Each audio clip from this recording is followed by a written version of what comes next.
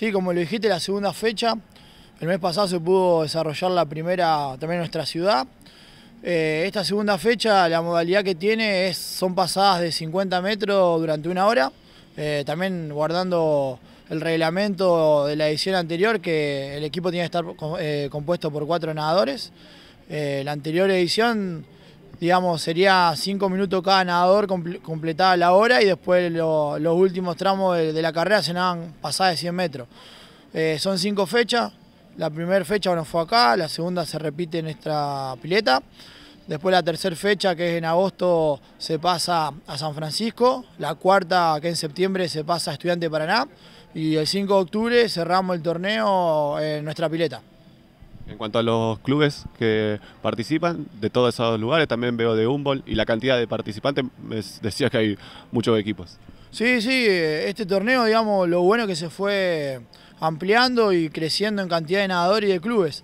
Eh, nosotros contamos, este año contamos con la presencia de la gente de Corrientes, eh, de Humboldt, de Paraná, San Francisco, eh, Rafaela. Así que hay un gran, un gran marco, bueno, los nadadores acá de nuestra institución. Así que hay un gran marco. Este torneo, hoy, la fecha de hoy, hay un aproximado de 53 equipos, que serían aproximadamente 212 nadadores.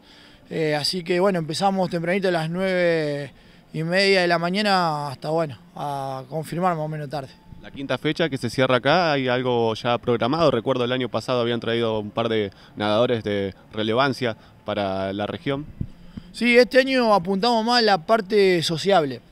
Eh, agarramos y dijimos con el grupo de máster, los organizadores, brindar más que todo la, parte de traer nadadores eh, optamos por, por hacer un tercer tiempo. Sería un evento más sociable donde los nadadores ya se distiendan, puedan venir y, disfrutar. Generalmente opinamos y decidimos hacerlo en el rancho, así que, o en Casa Club, cualquiera de los dos lugares. Así que bueno, este año pusimos más energía y énfasis a, la parte sociable. De todas las edades, eh, al límite, incluso hay algunos equipos que se van, bueno, se van sumando las edades para entrar en la categoría y van desde no sé, 15 años hasta bien grande.